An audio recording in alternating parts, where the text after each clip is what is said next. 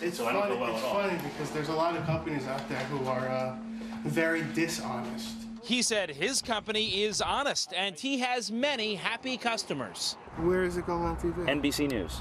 NBC News. It's nice. Thank you. You should feel good about yourself. We kept going. How are you? Good. This next contractor sounds the alarm at our window. Yes, that's definitely whack-a-mole. I don't think you need to test, it's a waste of money. His clean $1,200. Twelve hundred bucks to do the whole basement. Dude, that's really cheap. Cheap? You're a mold expert, right?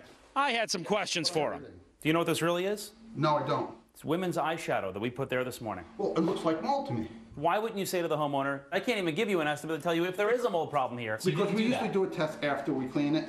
So they have to spend the money and pay you over $1,200 Yes. before you'll test to see if there's a problem. Does that make sense? Yeah, it does. We do it all the time. Okay, but we hadn't seen anything yet. This next contractor Hi there. Nice to meet you. doesn't waste any time. That's black mold. That's black mold. Absolutely. Absolutely. You've gotten water in here. I can still smell the dampness from it. You know something? It's not healthy. It's not healthy.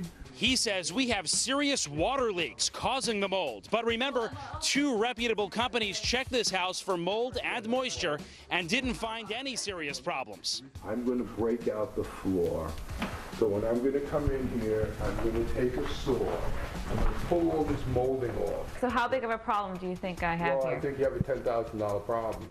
That's right, his estimate $10,871 to install a new drain system. I'm going to fix this now as if it was my basement. Hi, Jeff Rossen with NBC News. Hi, Jeff Ross with NBC News. I've seen you on television. Wow.